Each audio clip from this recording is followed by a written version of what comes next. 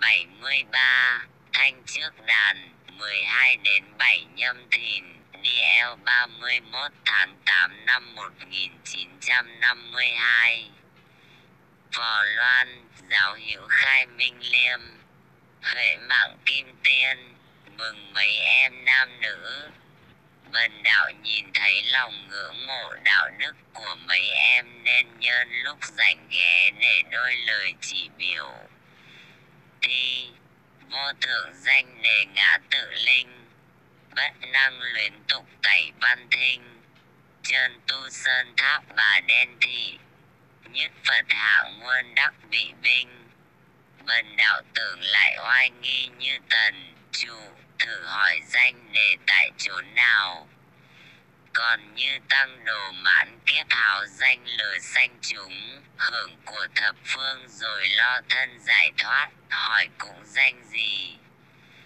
Cười, thật, bần đạo chẳng phải người Việt hoặc là một chủng sắc văn minh, nhưng nhờ được trí hy sinh tầm phương cứu khổ cho toàn bổn dân đến cơ thoát khổ, chẳng tưởng tư danh, không màng tư lợi, nhờ đó mà đắc quả.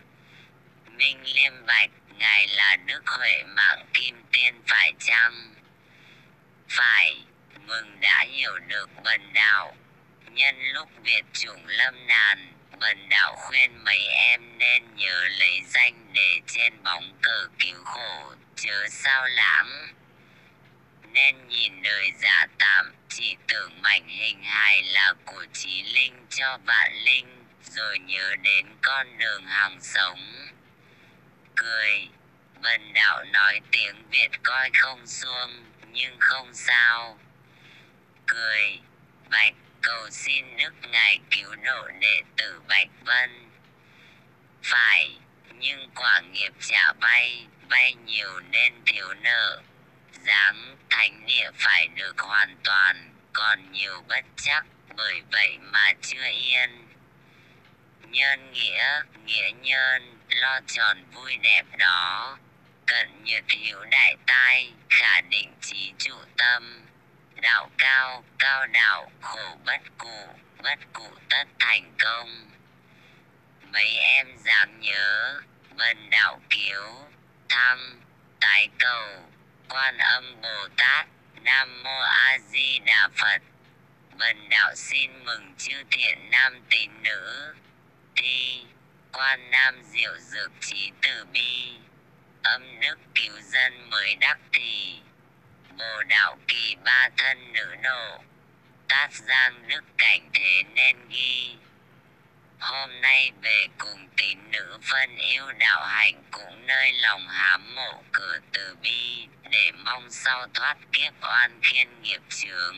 Do bởi thế trần tạo đầy cảnh khổ mà chúng sanh phải vướng cuộc trầm luân, thì bao giờ rời khỏi được cái thân nhi nữ thường tình? Nếu không sớm lo giải cứu thì sau này hối hận, đừng nói sao trễ bước công bấy nhiêu thì quả bấy nhiêu, chỉ có tâm nhiệt thành đạo hạnh thì cơ siêu thoát mới mong hưởng đẳng. Còn một điểm luyến trần thì khó mong cứu độ, chừng ấy ăn năn quá muộn, quý nhất sớm ngộ tam kỳ mà không lo tròn bổn phận thì uổng một kiếp sanh vô lối, giàu khổ cực cũng lăn lóc theo cơ đạo để tạo nghiệp nơi cảnh hư vô nếu bần đạo nói tận cùng thì thiện tín phải kinh tâm mà chớ. Thật cõi trần gian là nơi giam hãm con người vào vòng trụy lạc, lại là kiếp khổ tái sinh nếu không ngộ tam kỳ. Ở thiên cảnh ngó nơi trần thế thì bắt ngậm ngùi cho thế, chung quanh là ô trực để gạt và quyến rũ con người vào vòng tội rồi, chịu kiếp luân hồi khó mong nhìn thượng giới. Mãi môn su theo danh cùng lợi là điều buộc chặt linh hồn đó.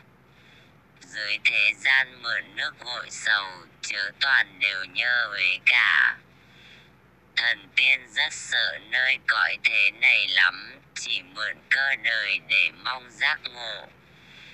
Nếu hữu duyên thì tránh được hầu bước qua cảnh mới, tức là siêu hình đó. Bần đạo cảm ơn và ban ơn cho. Thăm